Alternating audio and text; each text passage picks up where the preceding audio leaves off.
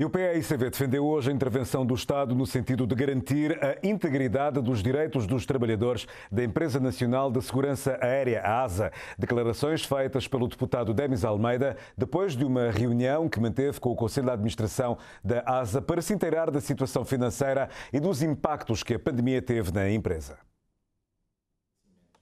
Para Demis Almeida, os trabalhadores da ASA não podem de maneira nenhuma ver os seus direitos fundamentais, os seus direitos adquiridos, reduzidos ou ilegitimamente restringidos.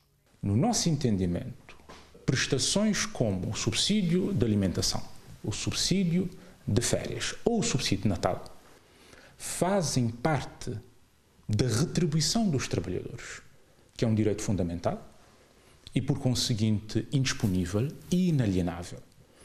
E não deve, portanto, ser objeto de qualquer redução. Considera o deputado do PICV pelo Círculo Sal que, se efetivamente a empresa tinha problemas sérios da tesouraria que decorrem dos impactos negativos da pandemia da Covid-19, deve o Estado, através do governo, intervir na empresa. Intervir enquanto acionista, intervir enquanto concedente, intervir eventualmente enquanto entidade que vem aqui buscar tributos, no sentido de garantir que este limiar não seja ultrapassado.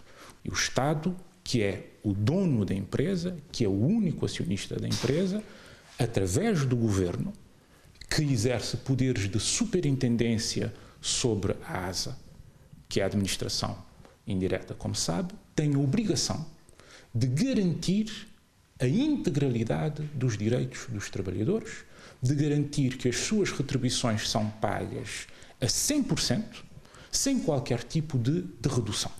Acrescentou, por outro lado, que para além da questão das retribuições, há também a questão da progressão da carreira. Não obstante, o Conselho de Administração ter garantido que a progressão da carreira dos trabalhadores não se colocará em causa, Demis Almeida discorda de alguns aspectos. Relativamente a eventuais acordos que impliquem a renúncia de determinadas percentagens de subsídios que fazem parte da retribuição dos trabalhadores, nós não podemos concordar.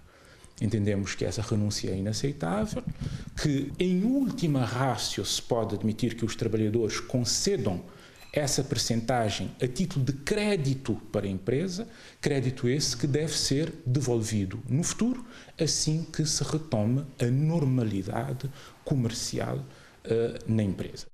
Compreende que a ASA tenha sido, porventura, das empresas mais impactadas negativamente por esta pandemia e tenha registado uma redução drástica dos rendimentos da empresa e, por isso, insiste que o dossiê reclama intervenção do Estado através do Governo no sentido de garantir os direitos dos trabalhadores.